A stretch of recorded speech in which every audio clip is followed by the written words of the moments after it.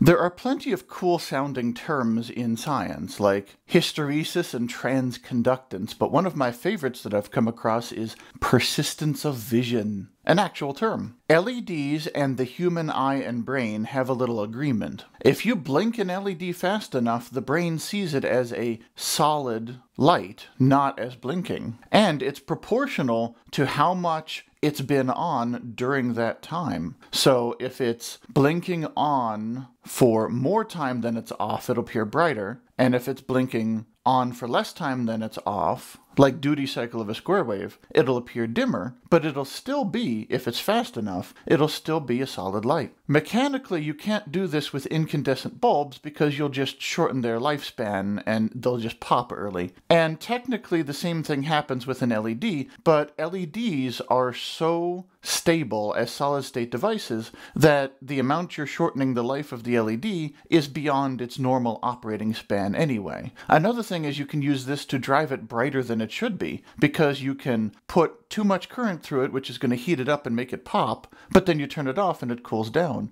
and hot and cool and hot and cool. So Again, this shortens the life, but it's not going to shorten it enough. This is not the same. It's related, but it's not the same as talking about like the, the frame rate of a game or how fast the monitor refreshes, because part of that is input latency, but part of that is the, the change. It's detecting changes in motion and such. What I'm talking about is a solid blinking, and the brain requires much lower frequencies to detect that as a solid light or to interpret that as a solid light. So not only can we exploit this to drive an LED brighter than it should be, but we can exploit it to drive 64 LEDs without having to have 64 pins. The 8x8 LED matrix I showed you, the 1088AS, I've done a simple demonstration here where I just plug it into an Arduino using 16 pins and 8 resistors. It's good for a demonstration and it's good for testing because you could get a bunch of these panels and just pop it in and it'll show you whether each light is on. But it's also good for experimenting. You know, there's no reason to go through a whole bunch of hassle with drivers and shift registers and all this other stuff when you're just trying to, let's say, test out a pattern. You want to try out different patterns and see how they go. So we'll get into the fancy proper stuff in the future right now. Let me just show you this. So here is the LED matrix and I've got a simple program that turns them all on one at a time and turns them all off one at a time just to show them all in a very clear and easy way. I've got the 16 pins plugged in over here just to get them in a sensible order. And then I've got a breadboard over here which has got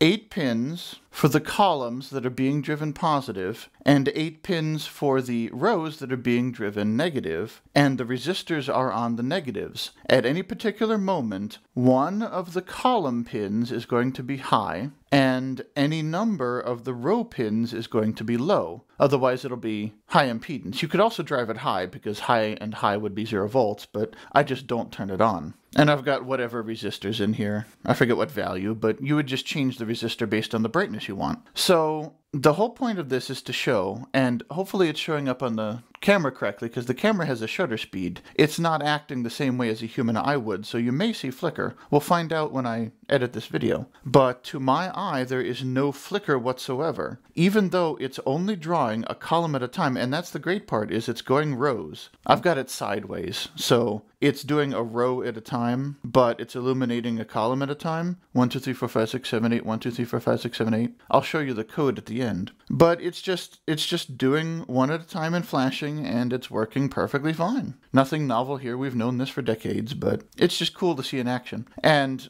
it doesn't draw that much current. These things are bright out of all proportion. Again, I think it's because they're in little divots, so more of the light is coming up, but it's being driven directly by the Arduino, and this is like a couple milliamps for the whole thing, just a handful of milliamps for the entire thing on at the same time. It's great. So anyway, just a simple little demonstration of how you can drive any pattern on a matrix like this and use the flashing to your advantage. So let me show you the simple code. So I allocate a simple array to give me the numbers of the eight column pins and eight row pins, just so I don't have to hard code any of that. And on delay is the number of microseconds that I'm going to leave the LEDs on. I'm basically going to just switch rows as fast as I can, and each row, once I've set the pins, I'm going to wait 100 microseconds. I think I said microseconds. Anyway, it's microseconds. It would really be smart to put it in the variable name, but anyway, 100 microseconds. And then here is the ones and zeros that represent the pattern I'm going to draw at any particular time. And here, pattern lifetime is 50 milliseconds, so I'm going to change the pattern being displayed every 50 milliseconds. And then this is just for my timer code. And this this is just the code. Don't, don't worry about this. This just creates the pattern. You can put whatever code you want here. Examine this if you like. But the point of it is down here. So when we start, I call initialize pattern first, which is whatever my code wants to do, and then I start the timer. So whatever the current time is, I say, okay, that'll be the next change. So it's just every pattern lifetime, it'll call update pattern. So the actual code, the meat of the program is here. So it iterates over each of the columns and it turns on that column pin. So one column, the positive pin is on at a time. It's being, again, it takes very little current, so it's being driven directly by the output pin. You want to make sure for your microcontroller whether you can do this, but if it's an Arduino, yes, you'll be able to do this. That's part of the charm of the Arduino. This is not going to take anywhere near too much current. So anyway, I set it to output mode and I turn it to high. Then for every single row, these are the ones that are being driven negative, connected, well, not negative, but to ground, but you get the idea. The cathodes. So the low signal, output low, and these are the ones connected with the resistors. You have to have a separate resistor for each one. Otherwise, if you have one resistor, I've gone over this, but if you have one resistor, sometimes the LEDs won't turn on right. And also, the brightness will depend on how many in the column are on. You don't want that, so one resistor per row. So it turns on all the ones that are on in the pattern variable. Then it waits for the number of microseconds in the on delay, turns off all of the row pins, turns off the column pin, and then it checks whether it's time to update the pattern. If so, update pattern and do the next iteration. So this is going to spin as fast as possible, 100 microseconds plus execution time, and it's a little variable, actually, because the execution time is a little variable, but 100 microseconds, if we if we ignore the execution time, 100 microseconds is about 10 kilohertz. Like 10 kilohertz. So it's not going to be that because I have the code running, but the human eye, you know, once you get over 200 hertz, it's literally impossible for a human to tell. Many humans won't be able to tell anywhere near that high. But like 200 hertz or more, you're not going to see it. So 10 kilohertz or on the order of 1 kilohertz even will be fine. So even though there is a variable execution time, that is just going to slightly change the brightness. I should do a video in the future on the fine control of an LED with PWM. But anyway,